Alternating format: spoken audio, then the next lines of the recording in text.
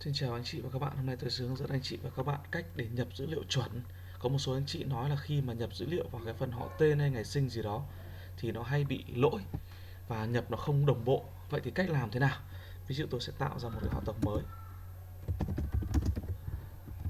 À, các anh chị các bạn lưu ý là chưa tôi chưa thiết lập viết tiếng Việt nhé. Thỉnh thoảng chị tắt cái này đi, nếu không dùng tắt đi cho nó đỡ ảnh hưởng đến bàn phím gõ. Khi nào dùng phần mềm anh chị bật lên sau thôi.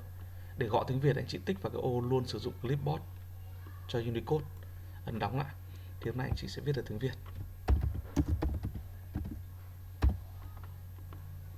Đó. Thì trước hết là lập cây này. Thay đổi tên thủy tổ này. Rồi. À, như vậy là chúng ta có được cái hồ sơ đầu tiên.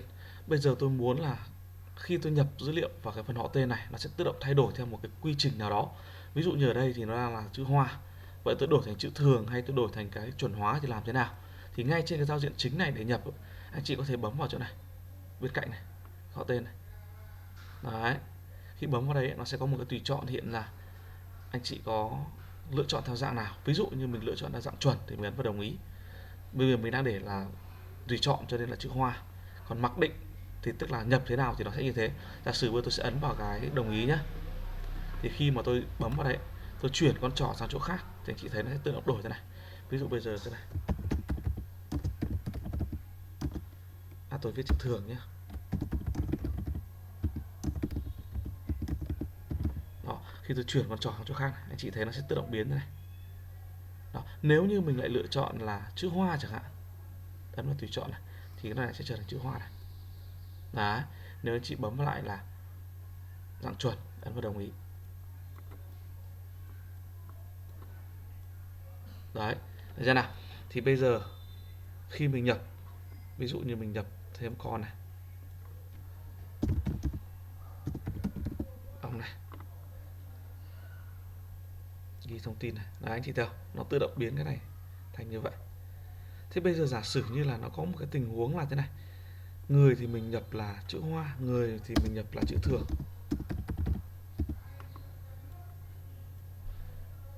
đây, thì khi mà anh chị nhìn cái cây nó sẽ thành cái này, người chữ hoa, người chữ thường thì xử lý nó thế nào? Thì tôi sẽ hướng dẫn anh chị cách để xử lý hàng loạt các cái hồ sơ mình nhập sai. Nhưng trước hết là ví dụ như là ngoài cái việc thiết lập ở đây, anh chị có thể vào cái phần thêm hồ sơ họ tập ở đây này. Thì ví dụ như là ông bưởi này có hai người con, là cam và sành chẳng hạn thì anh chị sẽ nhập cho người con này bằng à, con của người này bằng cách là kích đúp vào đây nhá. Anh chị ấn vào thêm con này. Cái này thì có cái phần hướng dẫn nhanh tôi đã làm rồi. Nhưng ở đây này tôi muốn nói về đây nó có một cái phần là đây đây chính là chuẩn hóa này.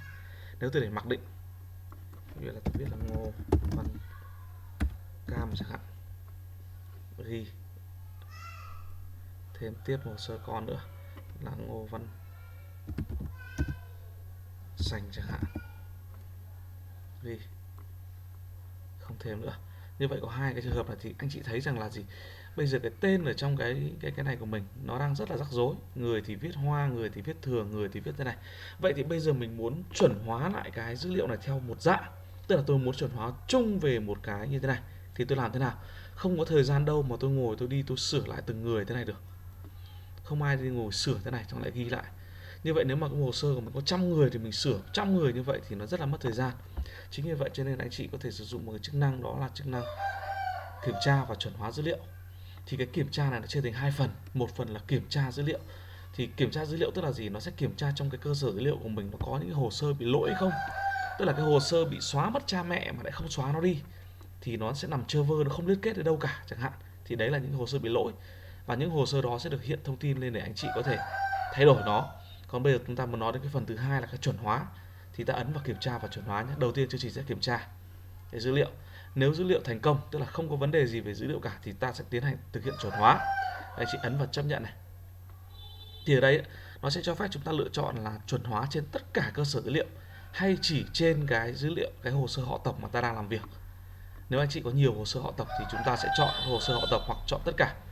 Thứ hai nữa là chúng ta lựa chọn sửa trên trường nào, thì ở đây tôi đang để có ba cái thông tin chính là họ tên nơi sinh nơi ở và nơi ăn táng à đúng rồi bốn. Đấy thì anh chị có thể lựa chọn ví dụ như là mình lựa chọn là họ tên nhé chuẩn hóa là tất cả tôi muốn chuẩn hóa về chữ cái đầu của mỗi từ viết hoa tức là như thế này. Còn chữ cái đầu của một câu thì họ chỉ có chuẩn hóa chữ n thôi. Đấy, còn chữ hoa chữ thường thì anh chị biết rồi. Ví dụ bây giờ tôi ấn vào chữ cái đầu của mỗi từ nhé tôi ấn chuẩn hóa này. Chấp nhận này. Rồi lọc cây lại thử xem nào. Đấy, anh chị nhìn đâu đấy, tất cả những người này chúng ta đều đã chuẩn hóa lại. Thì đây là cách chuẩn hóa họ tên ngày sinh nơi sinh. Thì rất là hy vọng là video này sẽ hướng dẫn cho anh chị cách làm để anh chị làm một cách nhanh nhất. Xin cảm ơn tất cả anh chị.